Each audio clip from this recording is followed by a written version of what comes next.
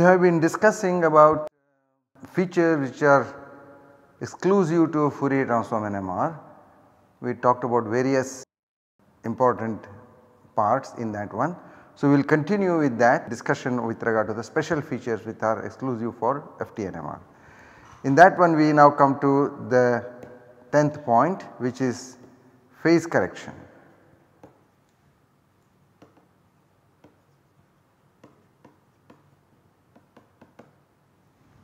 Typically we know that NMR signals are of two types. One we have a signal which is like this and this we call as absorptive signal. Or you may call this also as a spectrum with a 0 phase. Or the other is, is the dispersive signal which goes like this and this is a dispersive signal and this we may call it as 90 degree phase.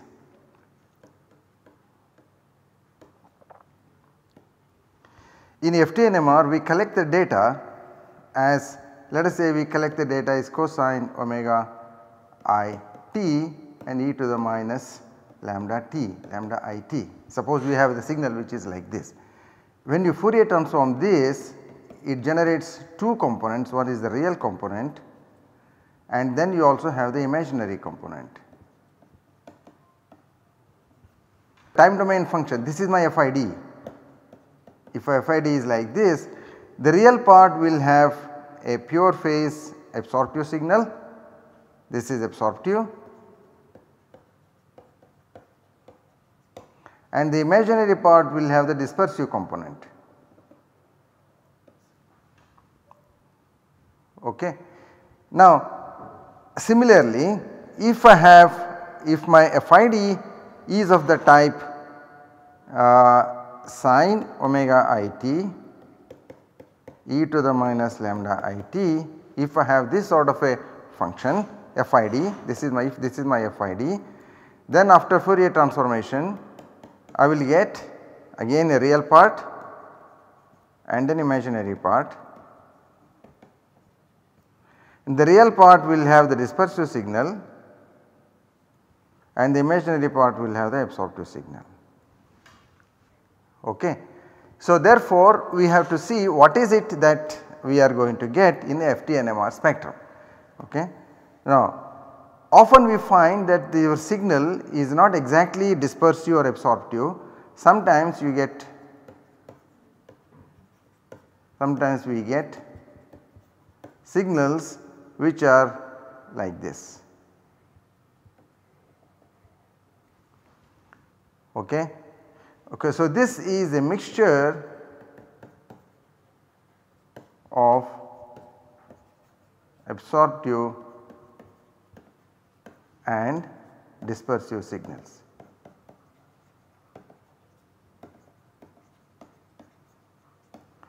Okay, so therefore this is known as phase error. So, this is called as phase error and this has to be corrected. Okay. So, now what is the source of the phase error? What causes the phase error? This we have to understand. Okay. Now as I explained to you suppose I have uh, experiment done like this I have the initial magnetization here this is the M M naught initial magnetization which is here. If I apply an like 90 degree pulse along the x axis which is exactly correct 90x then my magnetization will come along the let us say the y axis. Whether it is 90x or minus x if it comes exactly along the y, y axis then my signal will be cosine omega i t e to the minus lambda i t. Okay this will be my signal. If I collect the signal starting from the exactly magnetization aligned along the y axis. Okay. But often it so happens that this is not achieved. This is not achieved and what happens is you get the magnetization which was initially rotating to somewhere like this to some other position. So, then it, it will be oriented here in the transverse plane. If this is the case then you have the x, y and z. So, the signal which you are going to collect will have the contributions coming from this as well as from this right. So, if it is not 0 phase this is let us say this angle is theta then theta is the phase at time t is equal to 0 okay. So, in the such, such a situation your signal will have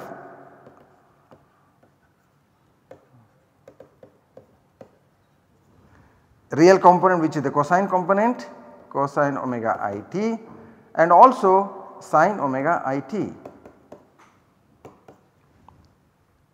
Okay. So, signal will have both the components. So, if a Fourier transform this what I should get of course this will have a certain amplitude here there is a coefficient let us call this as A1 and call this as A2. There are two coefficients depending upon what is the error here theta error depending upon that the components along the y and the x axis will be different. Whatever is along the y axis will have a cosine omega i t, whatever is along the x axis will be the sine omega i t. Now if I do a Fourier transformation of this sum together which is collected here, I will have a mixture of in the real part okay it is also true in the imaginary part also. This is the, the absorptive component and then I will also have a component which is coming from the x part which is the dispersive component. This plus this will give me a signal which is like this. So, this is because of the error in the initial pulse application. The pulse is not applied exactly along the x axis, but slightly deviated from the uh, x axis. So, RF phase is not exactly 0, but slightly away and that is the theta. Therefore, when the 90 degree rotation happens it does not come exactly along the y axis but it comes somewhere in the xy plane and that if the angle is theta there is a certain mixture of these two things will happen. So, this is this is this has to be corrected okay and this is called as a 0 order phase. 0 order phase error because this is not dependent on any frequency. Entire magnetization is rotated. So, at time t is equal to 0 all the magnetization components have the same angle. At t is equal to 0 all the all the components have the same phase error.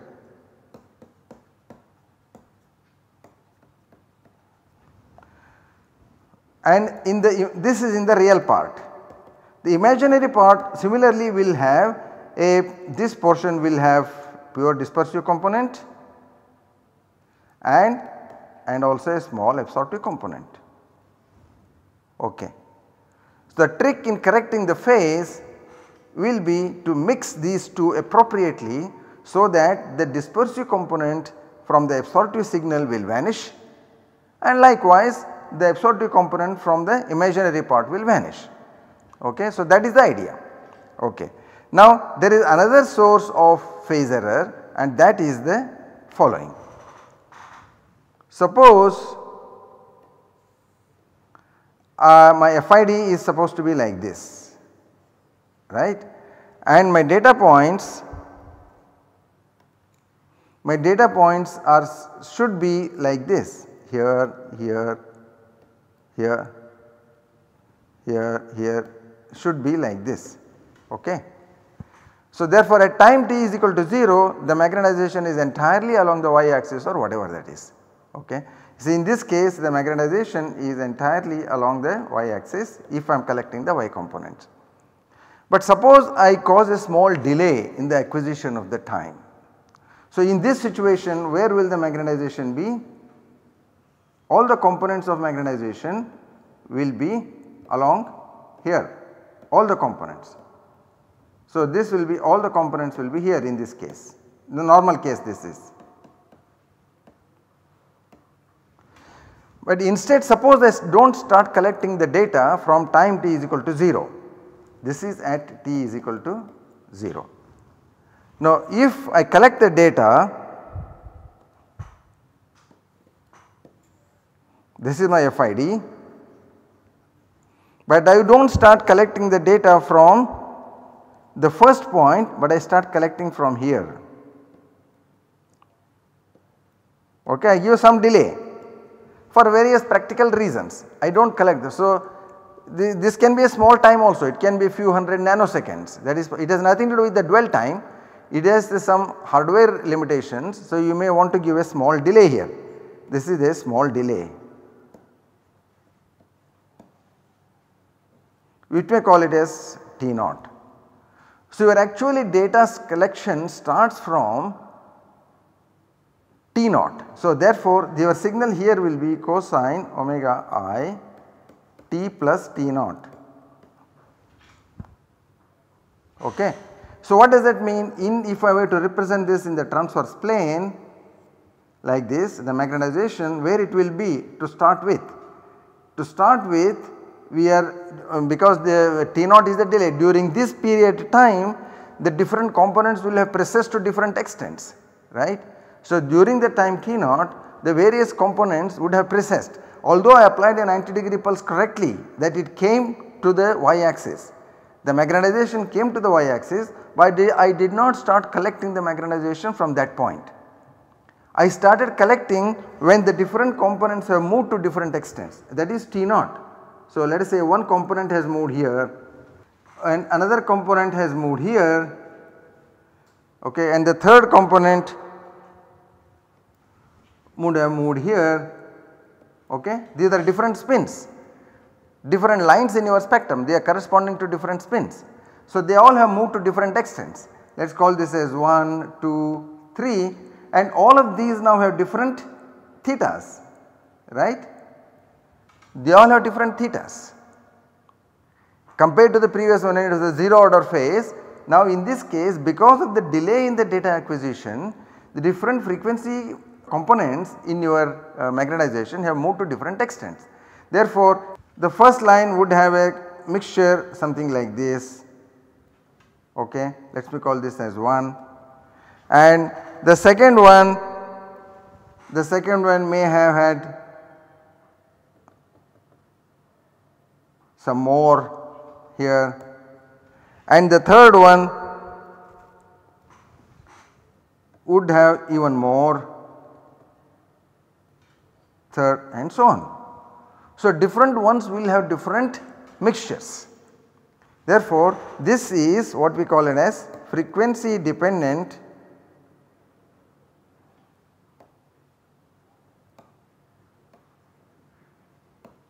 phase shift. and this is what we are talking about these are all in the real part of the spectrum. Similar thing will happen in the imaginary part of the spectrum. So, in order to correct for this here as well as in the previous case the strategy is to mix the real and the imaginary components. Okay. So, therefore, phase correction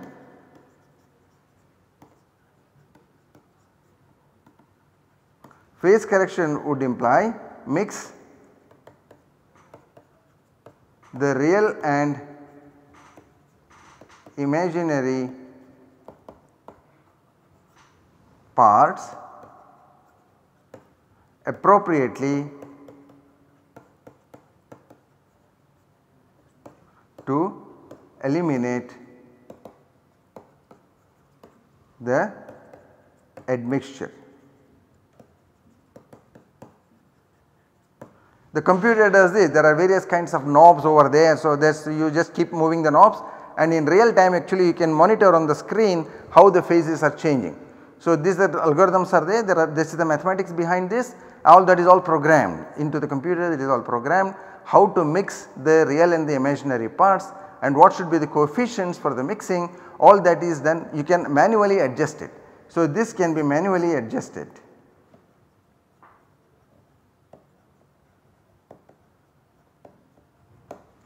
okay, to obtain the phase correction. Then we will have after you have done that you get pure absorptive line for the real part and pure dispersive part for the imaginary part. You generally do not use the imaginary part for other purposes. In when you want to represent your spectrum, you only plot the real part, you only plot the absorptive spectrum, right. Imaginary part stays there in the computer, but you do not you do not really look at that. However, it is used for uh, phase correction. So, that is the important part of the Fourier transform NMR and this does not exist in case of conventional spectroscopy. Okay. So, now moving on to the next important concept and that is dynamic range.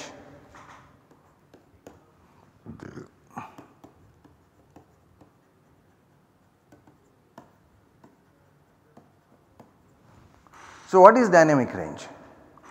Let us say we have a small signal and a huge signal like this. This may be a solvent, this may be from your sample. And you notice in Fourier transform NMR we excite all of them together. Okay. In FTNMR all these are excited together and signal is digitized. So, when I collect the data in the digitized form it will be superposition of the contributions from all of those. Okay. Suppose this signal has intensity of 1, this signal has intensity of 100 then what I will be collecting will be 101. If this is 5 and this is 200 what I will be collecting will be 205. Okay. So, that is what I will be representing in my in my FID. So, this is what happens in the FID. The FID which you have this you have the various points at various places and in every point we will have this summation represented. Okay. Therefore, in every point the data has to be represented correctly, this sum has to be represented correctly. How it is stored? How it is stored in the data? The data is digitized right I told you data is digitized and there is this device which is called as analog to digital converter.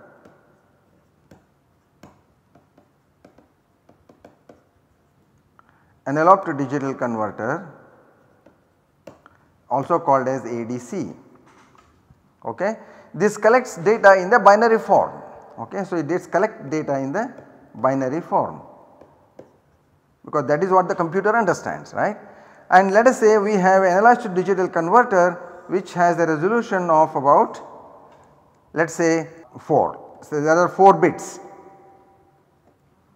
there are 4 bits in the in the analog to digital converter. What is what is this? This will be 2 to the power 0 2 to the power 1, 2 to the power 2 and 2 to the power 3. So, what is the largest number that can be stored here? 2 to the power 0 is 1, this is 2, this is 4 and this is 8. This is equal to 15. This is a 4 bit 4 bit digitizer. Each one of them is called as a bit. The 4 bit digitizer the largest number is 15 that is 2 to the power 4 minus 1. This of course is a very small number. Typically our intensity ranges will not be so small, they will be much larger than this. We would like to have as large uh, a range as possible. Okay. So therefore typically one uses what are called as 12 bit digitizer, 12 bit or 16 bit, 16 bit digitizer. So in out of these they also have to make account for the sign, one bit is kept for the sign plus or minus one bit is kept for the sign. So therefore what will be the number in this a 12 bit digitizer?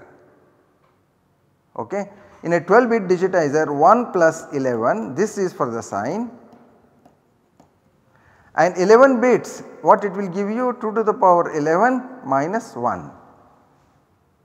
2 to the power 11 is 2048 minus 1 that is equal to 2047 okay. So, this is the largest number that you can store. Therefore, in your FID the digital point should you, you, when you add up the intensities of the small signal and the large signal it should be below 2047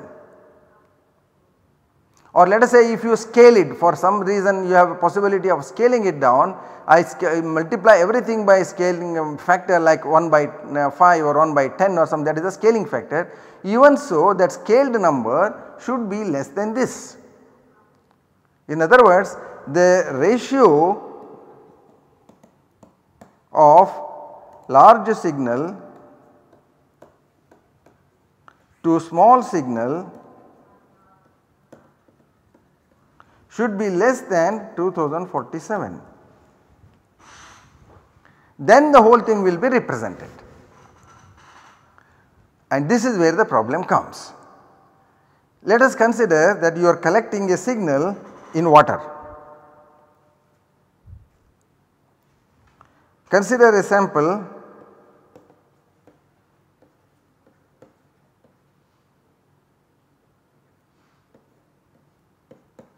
sample in water and we are recording the proton spectrum.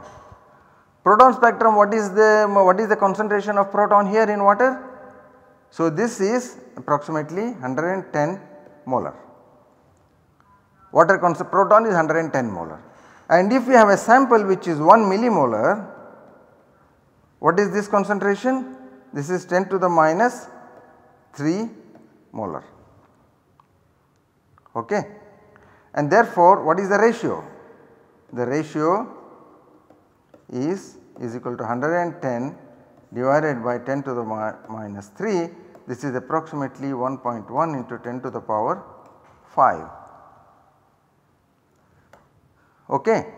So therefore it is impossible to represent this number in this 12 bit digitizer and this is called as the dynamic range. In such a situation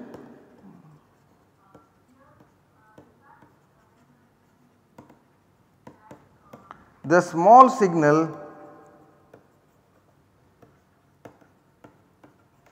gets lost. Only the big signal is represented and the small signal is not represented. Okay. This is called as dynamic range problem.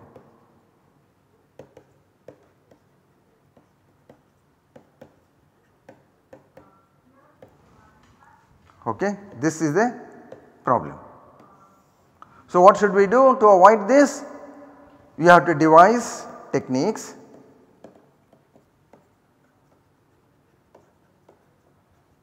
to suppress the strong signal.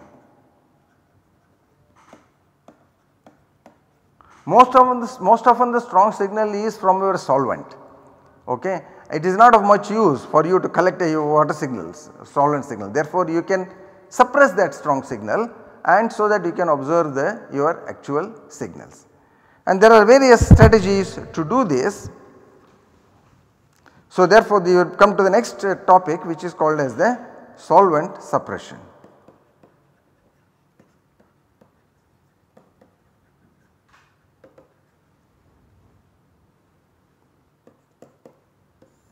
Okay. There are various strategies to do this. Okay. I will take you some of the very simple ones there and uh, of course there are very elegant procedures which are there we will uh, see how to use them. Okay. The simplest thing is First the pre-saturation.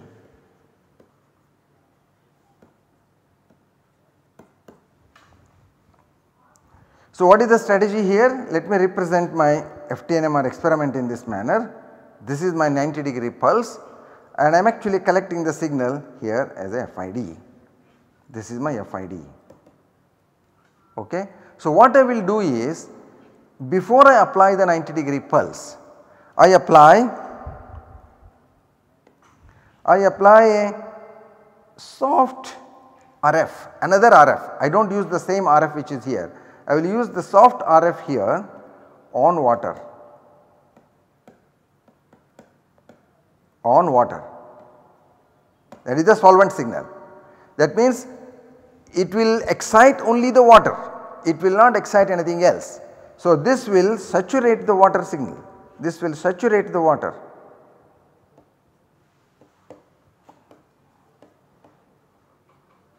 And it will not affect anything else because it is soft. So, it is applied exclusively to the water signal therefore, it will only saturate the water. Now, before that water saturated water returns back to equilibrium before it comes back you apply 90 degree pulse here or whatever the flip angle you want to use and then you detect the signal. You finish your experiment before the water comes back. Okay.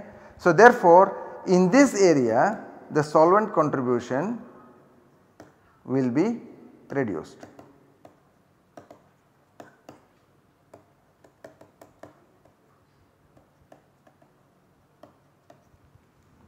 Okay.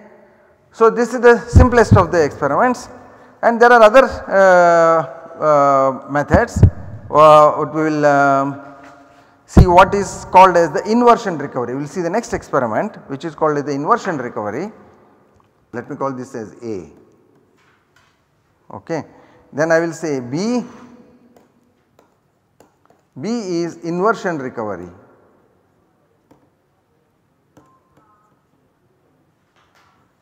Inversion recovery technique. So, what we do here is the it has a it actually uses more than one pulse here. So, the strategy will be like this you apply a 180 degree pulse a hard pulse you at time tau wait for a time tau and then you apply a 90 degree pulse or flip angle whatever flip angle you want to give and you collect the FID here. How does this work? Let us try to understand this in a vectorial manner, vectorial picture. Inversion recovery means 180 degree x plus meaning what? The magnetization is rotated from here to here, right. Initially magnetization was here and that gets rotated to this point when you have a 180 degree pulse. So, let me draw that as here now this magnetization contains contributions not only from the water but also from your other signals from your other samples as well. Let me represent them with a different color. So let us say I have another one here for 2 is enough for uh, uh, purposes of uh, understanding. Now both these will try to recover back to equilibrium okay. Now what you do is suppose my red is water and the green one is my sample okay. So in that situation what I will do is I will adjust tau such that water has come here because it is recovering. As it is recovering water has come here at 0 point and but the green one has come here. Okay. So which means they have different relaxation times. The red water and the sample water and the sample have different T1 values. Because this is T1 relaxation right? This is the longitudinal magnetization longitudinal magnetization is, is what is happening here this is here what is happening here is T, T1 recovery during the time tau there is a T1 based recovery. So, the if the two have different T1 values I adjust the time tau in such a way that the red signal which has come down to 0 but the green one has gone up or go either down either, either way it is possible it may not have reached there or it has crossed that. Okay. Now after this if I apply a, a 90x pulse I will not get any signal from the water. Ideally I will get only signal from the sample. However, in practice this does not happen. Some signal will always come because the recovery is not all that very very very uh, precise. Adjustment is not so precise. So this is a strategy. This of course requires that have distinctly different values. Things which are very distinctly different values only then you can suppress the water. If they have similar relaxation times then this will not work okay because if the water has uh, relaxed to 0 your sample also would have relaxed to 0 okay. So then you may lose that and then of course if the difference is not very large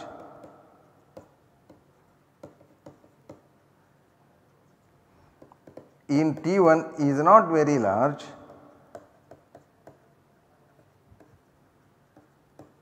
then your sample also will get will get attenuated. Sample signal will also be attenuated.